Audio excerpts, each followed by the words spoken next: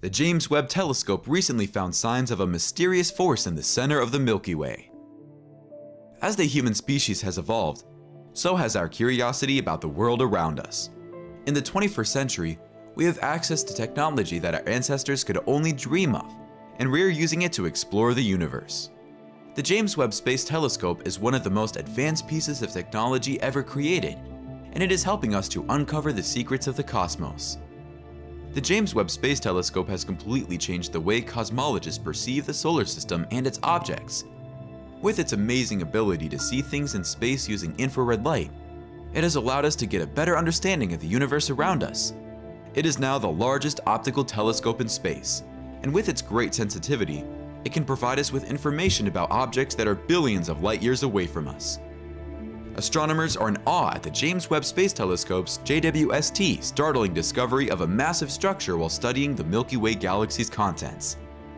What precisely is this enormous structure? What effect will it have on cosmological research as we currently understand it? And what steps will scientists take in the wake of its discovery? This video will explain everything you need to know about the recent JWST discovery, including what the structure is, how it was found, and what its implications are for our understanding of the cosmos. As the successor to the Hubble Space Telescope, the James Webb Space Telescope is one of the most ambitious and complex scientific instruments ever built. The Space Telescope was designed to study the universe in infrared light, and it is named after the James E. Webb, the NASA administrator who oversaw the development of the Apollo program. The telescope is a joint project between NASA, the European Space Agency, ESA, and the Canadian Space Agency, CSA. The James Webb Space Telescope, JWST, is a powerful infrared telescope. It is the successor to the iconic Hubble Space Telescope, and it is one of the largest and most complex scientific instruments ever built.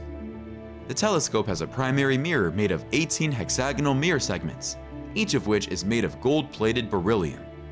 The primary mirror has a diameter of 6.5 meters, making it nearly three times as large as the Hubble telescope's mirror. The JWST also has a much larger light collecting area than the Hubble telescope, with a total area of 25 square meters. The James Webb Space Telescope is an incredible feat of engineering. It is designed to observe in a lower frequency range than the Hubble telescope, from long wavelength visible red light through mid-infrared 0.6 to 28.3 micrometers. This means that the telescope must be kept in extremely cold conditions. A temperature of negative 223 degrees Celsius, negative 370 degrees Fahrenheit in order to function. The telescope is positioned in a solar orbit close to the Sun's L2 Lagrange points, approximately 1.5 million kilometers, 930,000 miles from Earth, where its five-layer sun shield protects it from the warming effects of the Earth's moon and sun and on January 8, 2022, the crew assigned to the Webb mission finally deployed the telescope's 21-foot gold-coated primary mirror. This was the final stage of all major spacecraft deployments required for the Space Telescope, and it marks a significant milestone in the mission. On January 24, 2022, a few weeks after its launch, the mission team advanced Webb's position by turning on its thrusters and placing it in orbit around the Sun at the second Lagrange point. This would be its final location, approximately 1 million miles from Earth.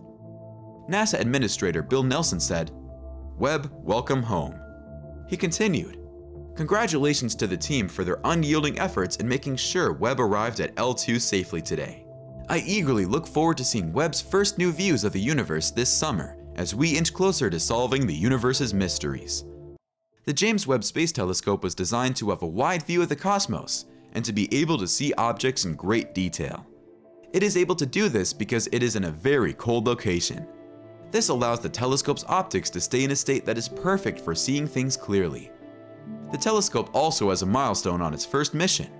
This is when US President Joe Biden saw the first complete color image from the telescope. The image was very sharp and showed the president a lot of detail. The telescope is also able to take the best infrared image of the cosmos. On July 11, 2022, the James Webb Space Telescope captured its first deep field image. The image, taken in the infrared, depicts galaxy cluster SMACS 0723. The cluster contains hundreds of galaxies, as well as the furthest and darkest objects yet detected in the infrared. The next day, on July 12, 2022, more images taken with Webb's instruments were published, wowing the public and scientists alike. The Southern Ring Nebula, WASP 96b spectrum, Stephan's Quintet, and the Carina Nebula are just a few of the stunning images that have been released. Each one demonstrates the incredible power of the telescope and its ability to give us a new view of the universe. The discovery of these previously unseen newborn stars has given rise to a new cosmic creation narrative. This new narrative begins with the Tarantula Nebula, a stellar nursery that is teeming with new life. The nebula gets its name from the way its hazy filaments appear in earlier telescopic photographs. The James Webb Space Telescope has given us a new view of the Tarantula Nebula and has revealed its complex structure and composition. The nebula is not only home to new stars, but also to background galaxies that are far away. This new narrative of the universe is one of constant creation. It is a story of how, even in the midst of darkness, new life can always be found. The Tarantula Nebula is a reminder that the universe is always creating, always evolving, and always moving forward. The Tarantula Nebula is one of the most unique and interesting star-forming regions in the known universe. It is home to some of the most massive and hottest stars, and it has a very high density of star formation. Astronomers have focused three of the James Webb Space Telescope's high-resolution infrared instruments on the Tarantula Nebula in order to study it in more detail.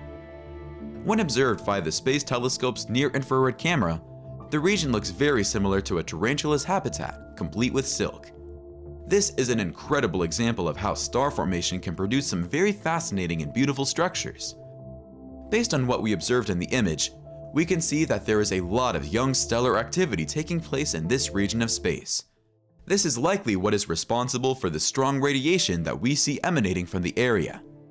This radiation is strong enough to cut off the nebula's cavity, which is why we only see the outer regions of the nebula in the image. These regions are able to withstand the erosive effects of the stellar winds coming from the young stars. This results in the formation of pillars that seem to be facing the cluster of stars. These pillars contain protostars, which are in the process of formation.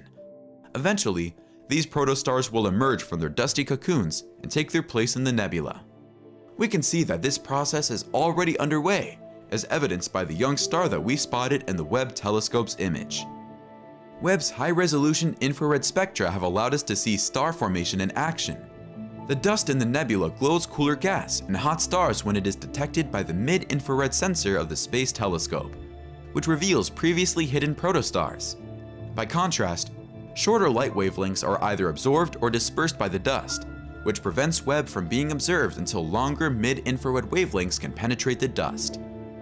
The Tarantula Nebula is one of the most popular nebulae with astronomers, because it has a chemical makeup similar to the huge star-forming areas seen in the early universe. The Tarantula Nebula is a fantastic illustration of the universe nearing its dazzling high noon due to its uniqueness. Through the use of the Webb Space Telescope's detailed images of distant galaxies, scientists would be able to study and compare observations of star formation in the Tarantula Nebula to star formation in our own galaxy, the James Webb Space Telescope is on a quest to rewrite the story of stellar formation. The telescope's ability to see behind the massive cloud of stellar nurseries in clear, sharp images is already providing new insights into the formation of stars.